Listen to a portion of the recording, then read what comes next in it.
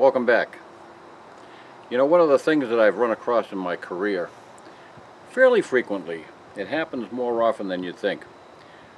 I've had people approach me with questions regarding which side they should shoot on, their left or their right side. in other words, their what we would consider a right-handed person would consider a dominant side being the right side, or a left-handed person uh, would consider a dominant side the left side. Now, in reality, the larger question is far more important, which is the dominant eye. And that's the one that sometimes gets people confused. The, the reason that this is such a fairly common issue is because is because we have we have two eyes and yet one of those eyes is really the one that perceives our image. The other one acts as a the binocular vision that gives us depth of field, depth of uh, perspective.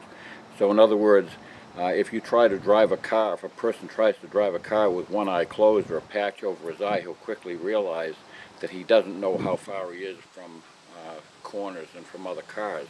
So it's very, very important to understand which is the correct dominant eye. Without the dominant eye being in position behind the sights, sighting is absolutely impossible.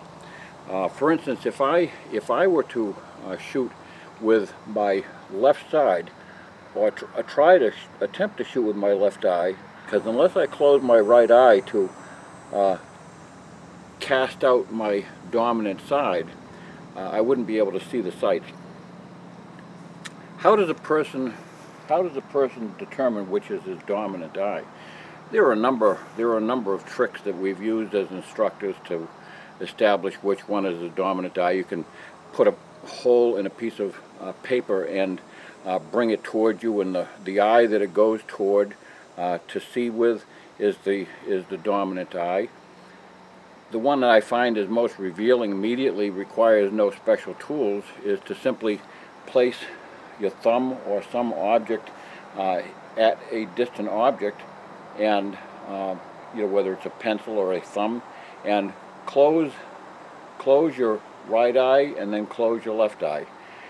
The image which does not move the thumb that does not move is your dominant side. In other words when that eye is open and your thumb doesn't move that's your dominant side.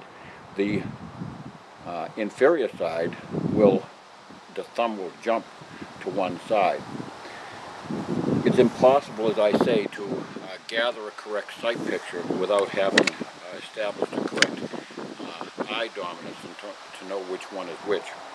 Now, I've run into, more often than not, I've run into cross paw situations. In other words, people who have uh, what they believe to be a dominant right side, but with a left uh, dominant eye. That really creates a real problem.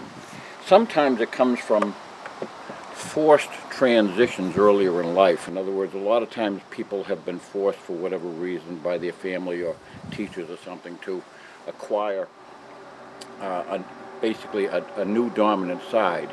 They uh, were they were at one time left-handed. They were born left-handed, and yet they were forced to transition to uh, a right a right-handed type of uh, to doing anything, whether it be writing, uh, or for or for sports or whatever. In fact, even the U.S. military, uh, for quite a number of years, demanded that people all shoot with their uh, right with their right side. Um, but for somebody who has had a forced transition from the left side to the right side, or vice versa, you can transition your side mechanically, but there's no transitioning for your eye. Uh, you, you were born with you were born with a dominant eye, and that's the one that you're going to die with. Um, nobody has nobody has uh, ambidextrous eyes, you might say, uh, or, or ambiocular. there's no such thing because otherwise you'd be going around seeing two images all the time. Um, but it's first of all, it's important to determine which is your dominant side. Once you've established which is your dominant eye, now that's the side that you should reasonably learn to shoot with. Now if you're talking about a handgun, And all these guns I, I make sure are clear before I uh, come online. But if you're talking about a handgun, it's obvious that a handgun is not necessarily as uh, demanding in terms of which side to put your uh, your focus on. In other words, I can I can shoot with equal proficiency with my uh, with my left eye by simply moving my head over, or with my right eye by moving it to the other side. It it really makes no difference which which side it's on. So with a handgun, it's less important. I can still shoot with my dominant side, whether it be my left side, my left side hand, or my right side hand. If you are if you are shooting if you are shooting a uh, rifle that's or a shotgun, it's quite another matter. The the correct the correct method for shooting a rifle or a shotgun uh, in order to have the best depth of field, especially with moving targets, running game, or, or whatever whatever the target is that happens to be moving, uh, it's always best to uh, have both eyes open. With both eyes open, your eye is always the dominant eye is always going to take over. So if I were if I were to attempt to shoot with my left side with both eyes open, I simply would never be able to get my sights lined up. My sights would always be would always be angled. I'd be looking at the I'd be looking at the side of the barrel. I can see this sight and this sight as if they're completely uh, beside me. Uh, in order to shoot, I would have to I would have to close my right eye in this situation. The same with a shooter who is a right-handed shooter who has a left dominant side, left dominant eye side. Now that person would have to uh, force close the left eye in order to see out of the right side because the, the, the vision is always going to go right down the side of the dominant uh, eye. So what's the, what's the way to handle it? Well, you have to make a decision. Um, most people I have, I have discovered, most people can easily learn to transition and shoot from the side that uh, that their dominant eye is on. In other words, mechanically, it's not that difficult to acquire uh, a new side to your body. In other words, if you've been forced or if you were born with a, a left side or a right side and you need to transition from one to the other because of a dominant eye issue, it's not that difficult to uh, establish some control and very good, uh, very good marksmanship and skill with the side which is previously your weak side. It's not that difficult. Um, it feels awkward at best. It feels, at first, it feels very, very awkward, and it feels as if you can't uh, manage things. But it's just a matter of, it's just a matter of accommodating it. And it's just a matter of learning a new, uh, just basically a new skill. Um, it, it, in fact, when I was when I was instructing officers, we always required them to shoot with their uh, with their dominant side and their non-dominant side both ways. That way there they could handle targets from either side of a uh, corner structure uh, without having to expose themselves, whether it be beside a cruiser or beside the corner of a building or whatever, so they could always maintain the best cover by shooting with their non-dominant side, regardless of whether they were left-handed or right-handed. So take that into consideration, that it's not that difficult to transition from one to the other.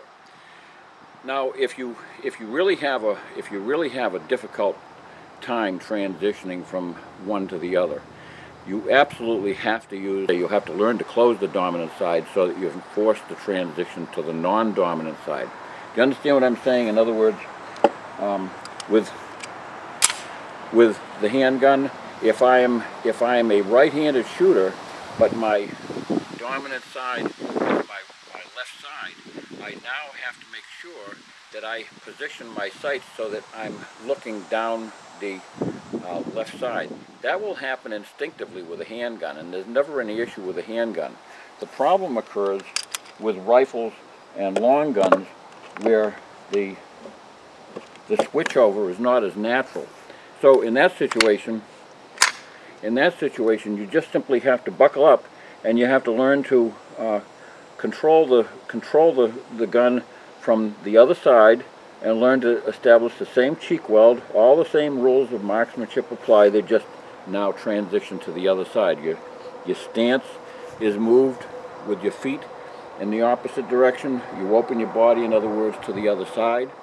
And uh, from there, everything else just becomes a matter of uh, using all the same rules.